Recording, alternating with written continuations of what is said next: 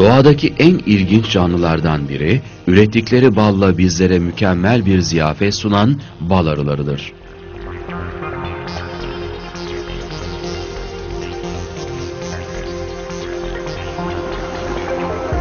Bal arıları, büyük zahmetlerle inşa ettikleri kovanlarda koloniler halinde yaşarlar. Her kovanın içinde bal depolamak için yaptıkları on binlerce küçük altıgen petek vardır. Bal arıları bu petekleri balla doldurabilmek için çiçeklerden bal özü toplamak zorundadırlar. Bu oldukça zahmetli bir işlemdir.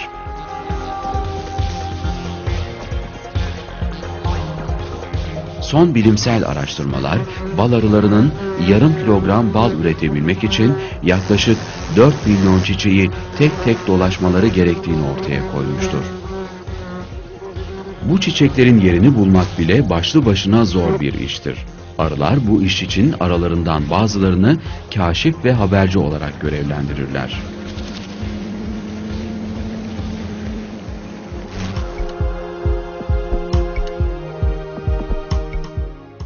Acaba bu haberci arılar kendi boyutlarıyla kıyaslandığında devasa ölçülere sahip alanlarda çiçek kaynaklarının yollarını nasıl bulurlar?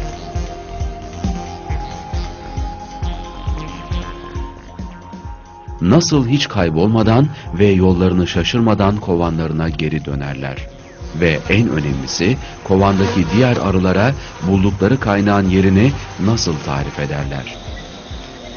Bu sorular araştırıldıkça çok ilginç gerçekler ortaya çıkmıştır. Ekranda bir çiçek kaynağı bulmuş olan haberci bir arı görüyorsunuz. Bu haberci arının görevi kovana dönmek ve oradaki diğer arılara bulduğu çiçeklerin yerini tarif etmektir. Haberci arı kovanına döner dönmez bulduğu çiçek kaynağını diğer arılara tarife koyulur. Önce çiçeklerden topladığı bal özünün küçük bir parçasını arkadaşlarına tattırır ve böylece kalitesi hakkında onlara bilgi verir. Sonra asıl işlem başlar. Yani yön tarifi. Arı bu tarifi çok ilginç bir yöntemle gerçekleştirir. Dans ederek. Haberci arı kovanın ortasında vücudunu titreştirerek dans etmeye başlar. İnanılması güçtür ama bu dans sırasında yaptığı titreşimler bulduğu çiçek kaynağı hakkındaki tüm gerekli bilgileri diğer arılara öğretecektir.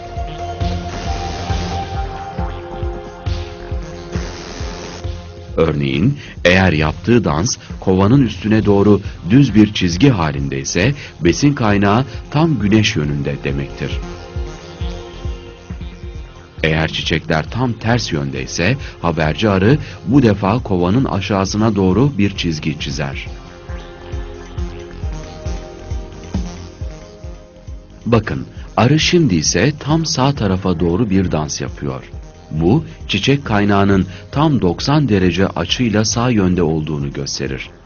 Bu haberci arı ise güneşin 45 derece sol tarafında kalan bir eğim tarif ediyor arkadaşlarına.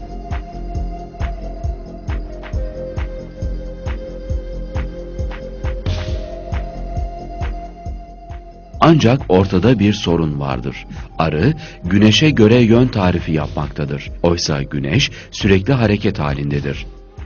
Her dört dakikada bir batı tarafına doğru bir derece kayar. Bu durumda arıların yanılması beklenebilir. Oysa yapılan gözlemler arıların güneşin bu hareketini de hesapladıklarını göstermiştir. Haberci arı yön tarif ederken aradan geçen her 4 dakika için verdiği açıyı bir derece daha batıya kaydırır. Bu muhteşem hesap sayesinde arılar hiç yanılmadan yön bulurlar. Haberci arılar çiçeklerin sadece yönünü değil, uzaklığını da bildirirler. Arının dans süresi ve dans sırasındaki vücut titreşimlerinin sayısı diğer arılara mesafeyi tam olarak bildirir. Onlar da bu mesafeye yetecek kadar enerji depolayıp öyle yola çıkarlar.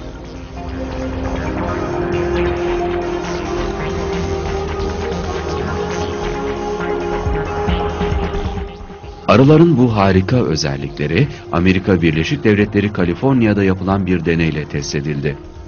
Deneyde üç ayrı yere birer kap içinde bir miktar şekerli su bırakıldı. Bir süre sonra haberci arılar bu kaynakları keşfetti.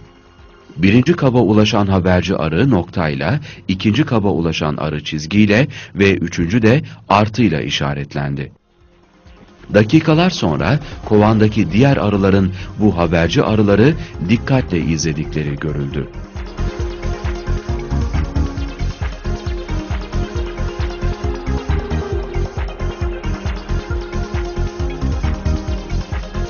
Bilim adamları noktayla işaretlenen haberciyi izleyen arıları da noktayla işaretlediler. Diğer habercileri izleyenler de kendi işaretlerine göre boyandılar.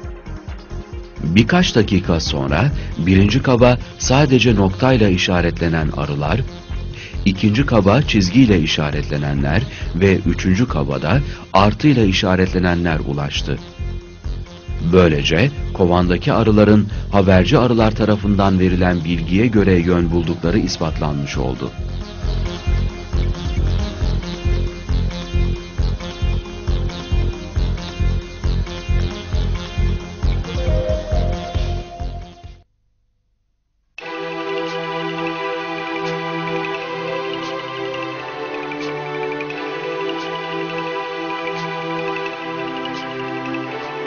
Tüm bu anlatılanlar üzerinde dikkatlice düşünmeyi gerektiren gerçeklerdir. Acaba arılardaki bu şaşırtıcı organizasyon nasıl ortaya çıkmıştır? Düşünme, akletme gibi yetenekleri olmayan küçük bir böcek niçin habercilik görevi üstlenir? Besin kaynakları araması ve bunları arkadaşlarına haber vermesi gerektiğini nasıl düşünebilir? Bunu düşünse bile diğer arılara bu kaynağın hem yönünü hem de mesafesini haber verecek bir dans tekniği nasıl geliştirebilir?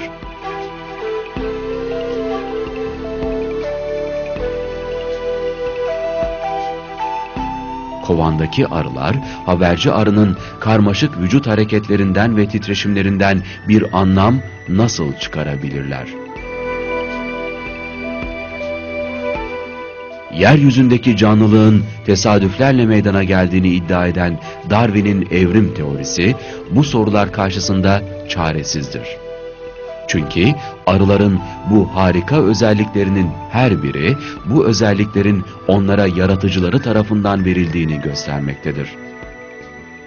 Allah arıları yaratmış ve onlara işlerini ilham etmiştir. Bu gerçek Kur'an-ı Kerim'de şöyle haber verilir. Rabbin bal arısına vahyetti. Dağlarda, ağaçlarda ve onların kurdukları çardaklarda kendine evler edin. Sonra meyvelerin tümünden ye. Böylece Rabbinin sana kolaylaştırdığı yollarda yürü, uçuver. Onların karınlarından türlü renklerde şerbetler çıkar. Onda insanlar için bir şifa vardır.'' Şüphesiz düşünen bir topluluk için gerçekten bunda bir ayet vardır.''